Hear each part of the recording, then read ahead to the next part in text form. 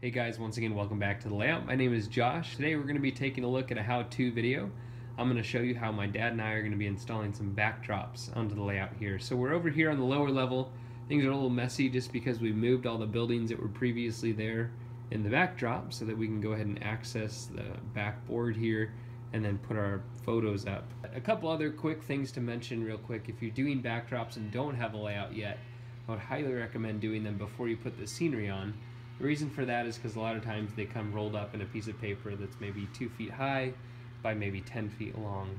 And it's a lot easier to just roll that piece of paper out all the way along. For us, however, since we have this track and stuff in the way here, we're gonna have to roll it out and put it into the corner once with the glue already applied and stick it up like that. So there's no huge issues with that. It just is a little bit easier to make mistakes. You just gotta be a little bit more careful. But that being said, you can definitely still do it. So anyways, that being said, uh, what we're going to do is go ahead and take a look at the backdrop itself for this piece right here. We've cleared out as much of the scenery as we can in front. We're going to go ahead and apply the glue, stick it on, and it's pretty much as easy as that. So it's super easy to put it up. I'll talk you through it, show you how we do it, and then we'll take a look at the end result here as soon as we're finished. So here's our backdrop. We are using backdrops from Trackside Scenery. Um, this isn't sponsored by them in any way. We've tried a couple different backdrops from Walthers and things we've found at hobby shows, uh, model train shows, but um, this is really just the best quality backdrops we've been able to find. Um, and they're also a pretty decent price. So I'll go ahead and put a link to the website down there in the description of this video if you guys are interested in checking them out.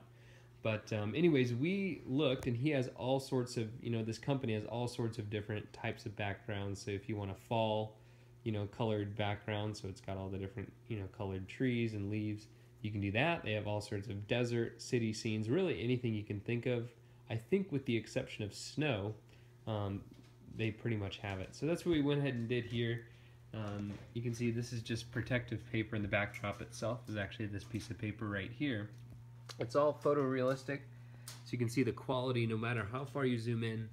Um, is really great. So it's going to look really great behind the layout. And an engine is going to be about that tall. So the trees, the trees are a realistic height. Um, and on this particular backdrop, we actually have um, the sky, but what we've been doing is cutting that out because it didn't quite fit. If you remember back in the layout there, we have all the support columns coming down, and it just would have been too difficult to try to splice those into the backdrop. So we figured just, you know, have the minimum amount of sky, and then we'll cut that out and just put the mountains in behind the already painted blue backboard. Um, and one nice thing about this company is that the gentleman who owns it is willing to work with you um, and totally customize it. So if you want a building placed in the background, he'll actually put a photorealistic building there, or if you want a road, or if you want the valley to come down, it's very flexible, very easy to make it fit for what you want into your own specific layout. So anyways, the backdrops that we're using here is the Shenandoah Valley series. I believe that's what it is. And um, again, you can be you can find that on the website. But um, we have several of these. The nice thing is, you know, the repeating section is pretty far apart, so it doesn't look like you have the same background every three or four feet.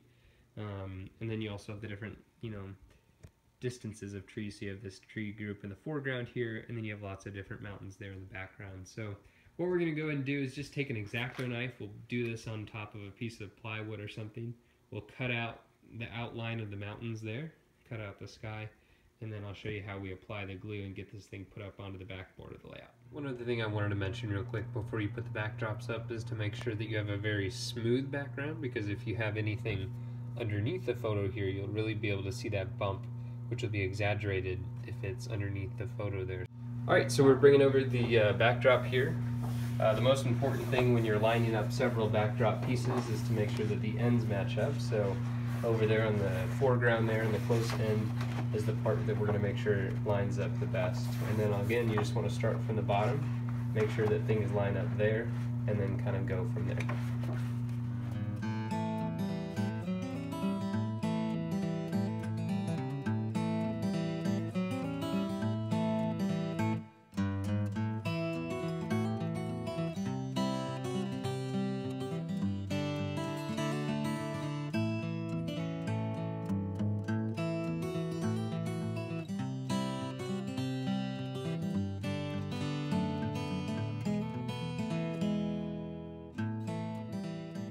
So one thing you might notice here is that if you look up at the top, we've got the bottom all lined up perfectly here, very straight along the, the corner of the back board and the base here.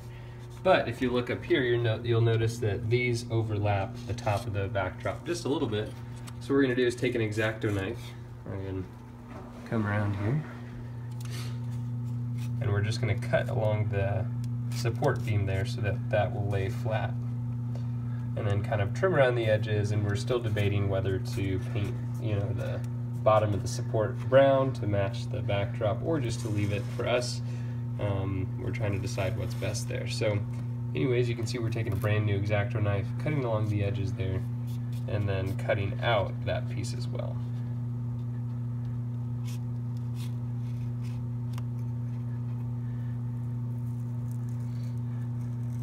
And you can also see there's a little bit of a white line where the two backdrops meet there. That's something that we'll go ahead and work on pressing down and making sure that that white line is almost invisible, which you'll be able to tell if you come over here. You can see that there was uh, two different ones that met in the back right there. You can't see that white line. And then over here, I actually don't even know where it is, right here. You can see there's a the two backdrops come together, but you can barely see it, especially once you stand back. So once we get everything pressed in, and laid flat, you'll barely be able to see the transition there between the two different pieces. Um, another thing we have on hand here is a roller. This is really helpful for just, you can see it's a nice foam brush here. It's really helpful for just rolling it, making sure that you get all of the air bubbles out and making sure that it's pressed flat against the backdrop there. Another thing you can do is uh, use a plastic squeegee for just, again, if you do it nice and light, um, making sure that all of the air bubbles are out and then it's laying flat against the backboard. Anyways, guys, we'll go ahead and finish this up. We will uh, be back here in just a moment once we get the buildings back in place. And then I'll show you a good before and after video here to show you what the backdrops look like once they're in place. And um, a couple closing thoughts.